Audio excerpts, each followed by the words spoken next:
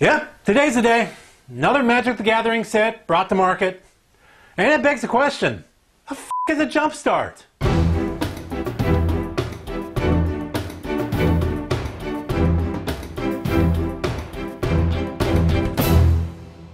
So Jumpstart came out today, July 17, and it brings with it 664 cards. That's 78 new cards, 417 reprints, plus another 169 from the previously released Core Set 2021.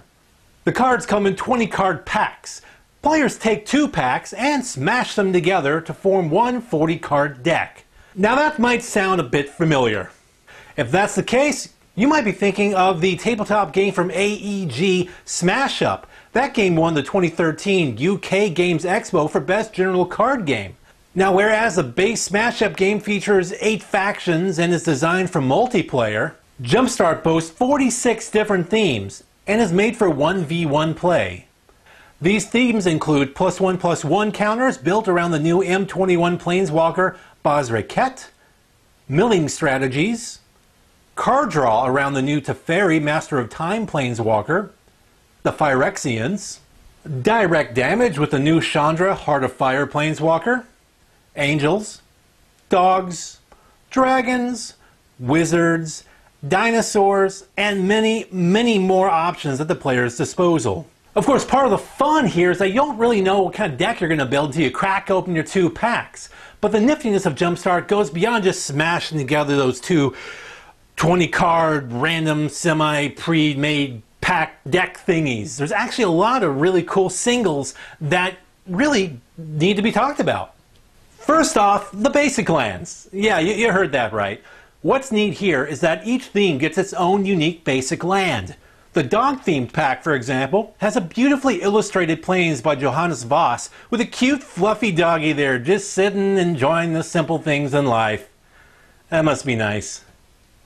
Conversely, the Phyrexian Swamp not only shows a Phyrexian wasteland with either a Phyrexian negator or obliterator, honestly kind of hard to tell, but the card is actually written in the Phyrexian language. How cool is that? And there are a number of new cards that are already generating a lot of buzz despite not being modern, pioneer, or standard legal. Allosaurus Shepherd is an awesome one-drop elf that not only cannot be countered, it makes your other green spells uncounterable as well. Oh, and it can turn all of your elves into 5-5 dinosaurs. Rar. Then there's Tiny Bones, a 1-2 skeleton rogue for 1 and a black that rewards you for your opponent's discarding, and can be a game winner when an opponent has an empty hand. And let's not forget to mention Bruvac, the Grandiloquent, a 1-4 legendary that simply doubles the amount of cards a player mills each time. There are also these neat dual-colored tap lands called Thriving Lands. Each one is tied to a specific color, but also allow the player to name its second color as its enter the battlefield ability. Talk about versatile. And of course, with more than 500 reprints, we'd be remiss not to uh, give a few a mention, and there are definitely quite a few worth mentioning, such as Craterhoof Behemoth, Exquisite Blood, Linvala, Keeper of Silence, Selvala, Heart of the Wilds, Rise of the Dark Realms, Phyrexian Tower, Rhystic Study, and more. For many of these cards, it's great to see them reprinted so that more players have access to them.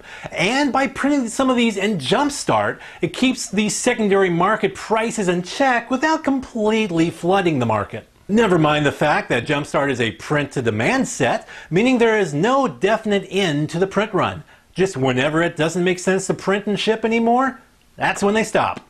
Now, Jumpstart's not just going to be a paper release. There will be a digital release as well. Actually, it was yesterday. I'm really on the ball on this one. Uh, one important thing to know, however, is that not every card in the set is making the jump to digital. Rather, Wizards of the Coast has decided instead to substitute 20 of the cards in the paper release with different cards on, on Arena instead. For example, Path to Exile in paper becomes Banishing Light on Arena. Lightning Bolt becomes Lightning Strike. Ball Lightning becomes Lightning Serpent. Exhume becomes Bond of Revival.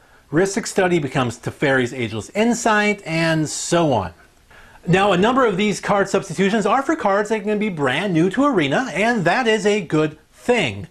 As for why Wizards of the Coast is making these substitutions, uh, however, that's kind of uh, anyone's best guess.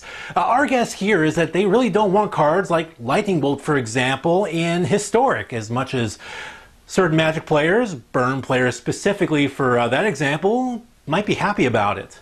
One other thing about Jumpstart on Arena is that you won't be able to actually buy the packs from the store, at least not currently.